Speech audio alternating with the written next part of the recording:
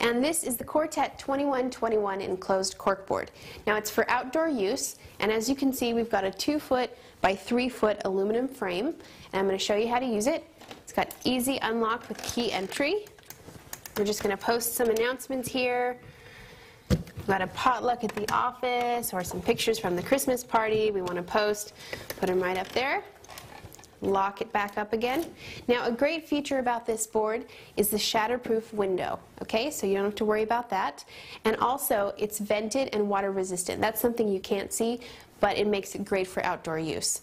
So this is simple, it's easy to use. All you have to do is change it, lock it, and walk away.